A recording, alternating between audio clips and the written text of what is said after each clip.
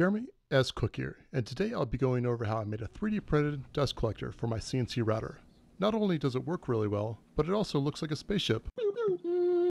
It attaches to the spindle via a magnetic system that you can just plop on and then you can just rotate it left or right, kind of like a kind of like clocking the whole thing. When you're ready to put it in position, then you use some little clamps on the side to make sure it holds it down. Now this whole video is kind of a supposed to be an odyssey about how I went from a very poor dust collector to a very good one. So here's my first step in this whole thing. You can fast forward to a later, da- later date if you wanted to skip this part. But first thing I tried was actually putting a little shop vac nozzle on a piece of polycarbonate. That didn't work so well, so I made a coaxial fixture shown here. This worked a bit better, but I believe the exhaust from the, the router actually interfered with the suction, so that was okay. Third thing was this this dust collector from Romaxx, the company actually made my router. but It's kind of big and kind of kind of interferes with my fixturing a little bit. Results are pretty good though. After this, it was time to make something even more, even worse than the first one I came up with actually.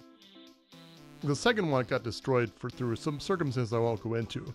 But this one is just a, a 2x4 with a quarter 20 carriage bolt drilled in the side. I'll put that in there and then with a with a wing nut, I could I could clamp it down and make sure everything fit out correctly.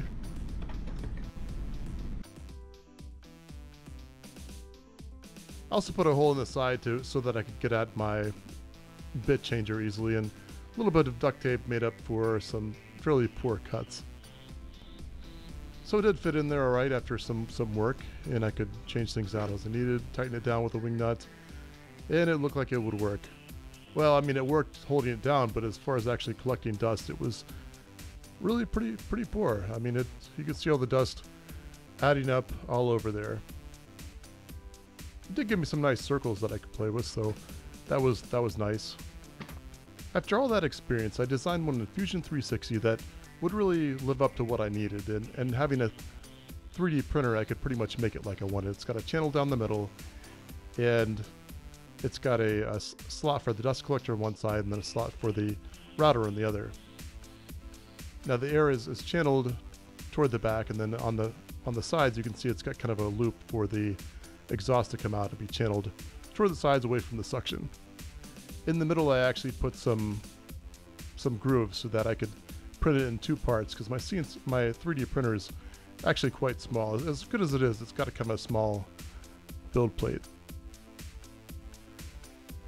turned it into two separate parts, deleting one side and one, one piece and deleting on the other and the other. Probably a better way to do this. But and here's the view of the print, courtesy of Octolapse and the custom fixture that I made, shown here.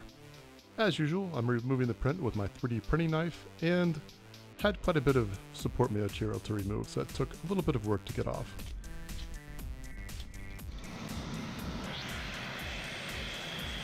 And a little test with a piece of duct tape meant it was time to print the other side. Nice to see it come together and it all fit, fit pretty much perfectly. Used some epoxy on either side to attach it together. Didn't know how well this would grip, but it did work pretty well and I actually applied it liberally across the bottom and the top just to clean up any parts that might might tend to delaminate at some point. Nice to have the extra layer on there if, if it's needed. I then used zip ties the whole thing to hold it down and then, then printed the part that would actually take the magnets. Now this part could have been designed into the fixture itself, but I decided if I needed to replace it or if there's some wear or needed changes, I could just replace it with just a little thing. And so this is all screwed together with a 1024 bolt. There I am tapping the holes for a 1024 screw as mentioned earlier. And the other side I cleaned out with a drill bit just to kind of clean out the, the holes a little bit. And there it is, it attached together nicely. As it just so happens, the space on the CNC router where this magnetic part was going to fit was, was quite tight and it had some button head screws that stuck up just a little bit. I decided to put a counterbore on that and, and make them and recess them so they wouldn't get in the way anymore. That worked out pretty well just to give me that extra little bit of clearance and there's the top part printing out. The sides of it will be tapped, kind of like the the 2x4 design I had earlier, except, except it works quite a bit better. And all these magnets are lined up with the correct, you know, north-south orientation, so I can just clock it one way or another. So there it is, that's pretty much the design there. Goes on and off, and then when I need to, I, I can attach it down with these clamps. And there's my hose for my Ridgid vac. And it's producing quite a bit of suction.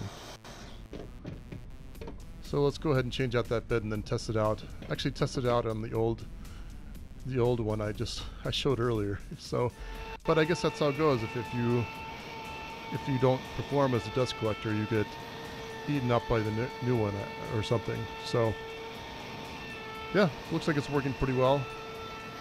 I will advise when using this, you've got a ton of air going over a hot surface, you know, sucking that up. So just just pay attention to your router make sure it doesn't catch on fire. It's a real risk, so just a little PSI there.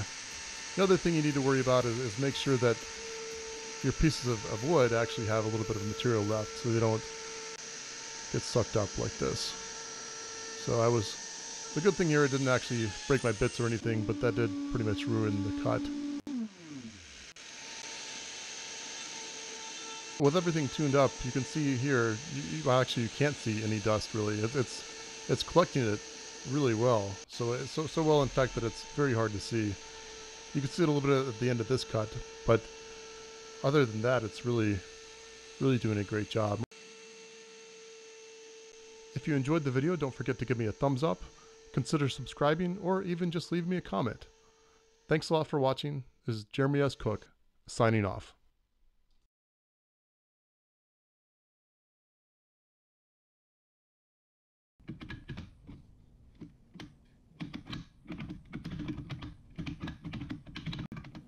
biu biu biu biu biu biu。